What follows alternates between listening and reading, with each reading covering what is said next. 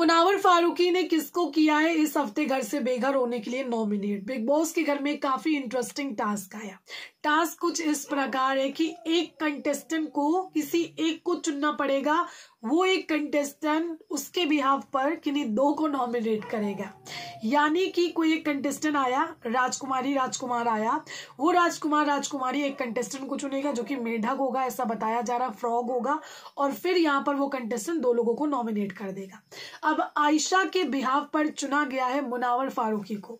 जी हाँ यहाँ पर मुनावर फारूकी ने आयशा के बिहाव पर अरुण और ऐश्वर्या को घर से बेघर होने के लिए नॉमिनेट कर दिया। मेकर्स बहुत ज़्यादा ही चाले चलते हैं मतलब किसी को लेकर के आएँगे, फिर उस कंटेस्टेंट कहीं ना कहीं एक साथ यू नो घुमाएँगे नॉमिनेशन टास्क हो कन्फेशन रूम हो, यहाँ हो, वहाँ हो तो इस तरीके से बुलाना चालू करेंगे। अब यहाँ पर इन्होंने खेल खेलना चालू कर दिया है।